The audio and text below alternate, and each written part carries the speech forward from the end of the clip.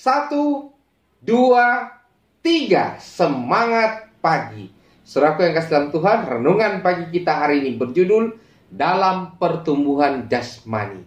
Ayat renungan Lukas 2 ayat 40. Anak itu bertambah besar dan menjadi kuat.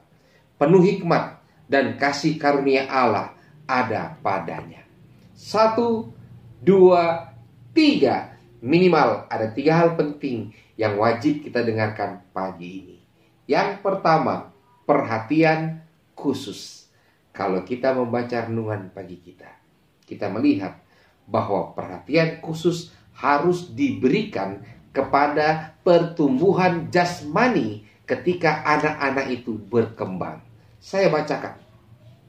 Para ibu bapak harus melatih anak-anaknya dalam kebiasaan-kebiasaan yang baik, makan, minum, berpakaian, dan gerak badan, sehingga suatu dasar yang baik akan diletakkan untuk kesehatan yang baik dalam hidupnya di kemudian hari.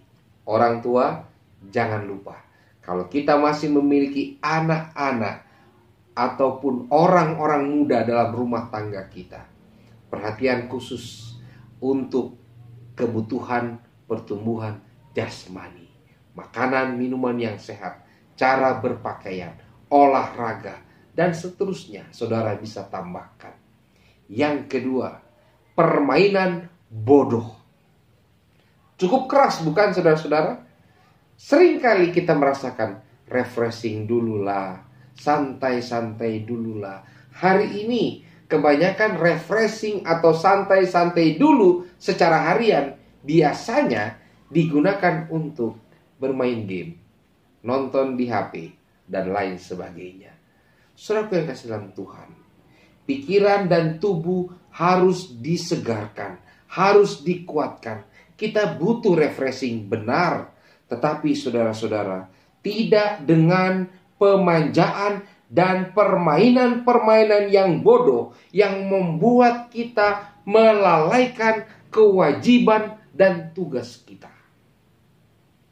Jelas saudara-saudara ya, bukan dengan permainan-permainan refreshing yang membuat kita melalaikan kewajiban dan tugas-tugas kita.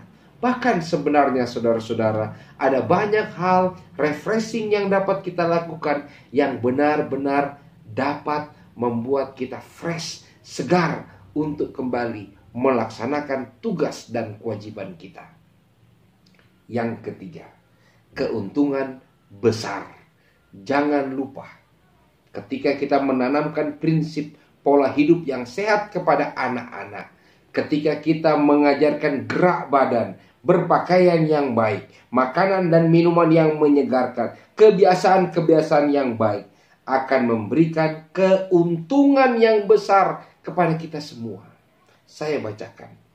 Hidup kesederhanaannya yang wajar menguntungkan kepada perkembangan keadaan jasmani yang baik dan suatu tabiat yang teguh yang tidak bercela. Sedangkan ketika Yesus hidup di atas dunia ini, ia bertambah besar, menjadi kuat, penuh hikmat, kasih karunia Allah ada padanya. Yesus berikan teladan bagi saya dan saudara. Kita akan diberkati ketika kita benar-benar menjaga pertumbuhan jasmani kita. Satu, dua, tiga. Pagi ini kita semua diingatkan. Berikanlah perhatian khusus untuk pertumbuhan jasmani kita. Untuk kebutuhan fisik kita. Hindarkan permainan bodoh yang kita anggap itu refreshing. Padahal bukan sehingga membuat kita melalaikan kewajiban dan tugas kita. Jagalah kesehatan tubuh kita, kesehatan fisik, karena itu akan memberikan keuntungan besar bagi kita masing-masing. Semangat pagi, selamat pagi. Tuhan memberkati kita semua.